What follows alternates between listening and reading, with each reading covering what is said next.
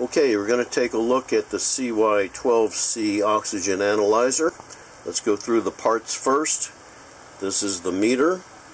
It's connected by a little cord here to the sensor which is clipped to the top of the system right now. It doesn't have to be. Off of the sensor you see two hoses. The first hose goes to this pointed filter.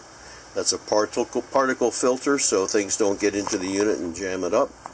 The other thing here is a bulb connected to the sensor and that allows you to suck in gas if the gas next to the analyzer is passive. Otherwise you don't need that and you can just take it off right here, take off the uh, tubing entirely. So the first thing you do, put in the battery in the back, it's a 9 volt, 9 volt transistor battery and then we're going to switch this to 50 that's actually 50%. And we're going to let it stabilize for a while.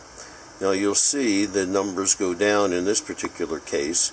It should go down to 21. Why is that? Because what's in here now is room air, and room air is, in theory at least, 21%. You'll see it go down to 21, ideally, because room air is 21% oxygen.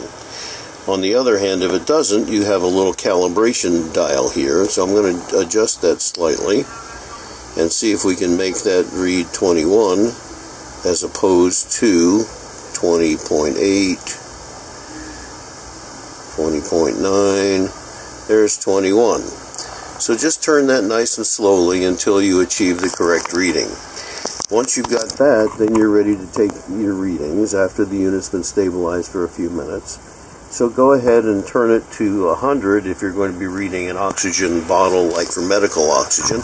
Otherwise, you might want to just leave it set at 50. For very low concentrations, you can even set it to the 5 reading, but most of the time 50 is uh, quite sufficient.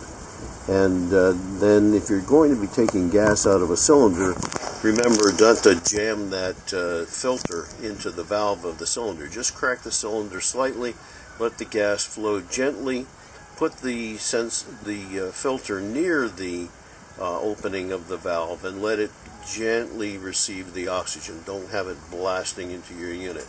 And then you'll get your reading and uh, make sure not to jam this the point of your uh, filter into the valve itself.